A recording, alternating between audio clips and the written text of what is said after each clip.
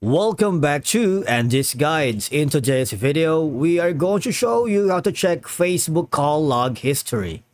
Let's begin. Now, the first thing you need to do is to log in using your credentials. If this is your first time on Facebook, click on the create new account option. And from here, just follow the on-screen instructions and you're good to go.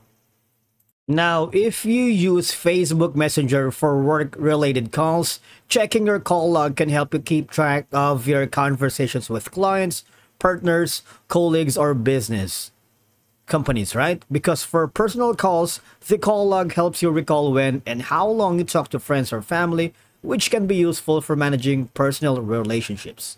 You can always check for any missed calls that you may not have noticed, ensuring you return important calls promptly, and reviewing the duration of calls can provide insights into how much time you are spending on calls and with whom, alright? Now the thing is, I just wanted to make a uh, distinct clarification that now Messenger doesn't differentiate between missed calls and declined calls. It simply shows a missed call right here for an audio notification regardless of why the call wasn't answered.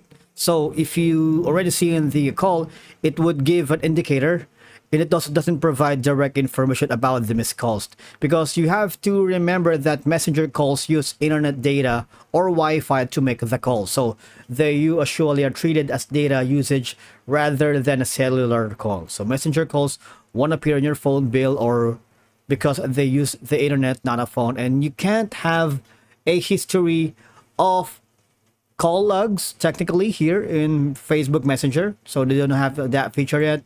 But the thing is, if you want to check the call history, you might want to search them one by one, all right?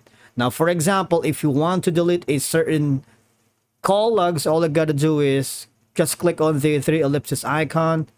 You can remove or you can click on the pin option, all right? So you all those are your options in terms of the call logs. If you want to check your history here all you have to do is do it manually. All right?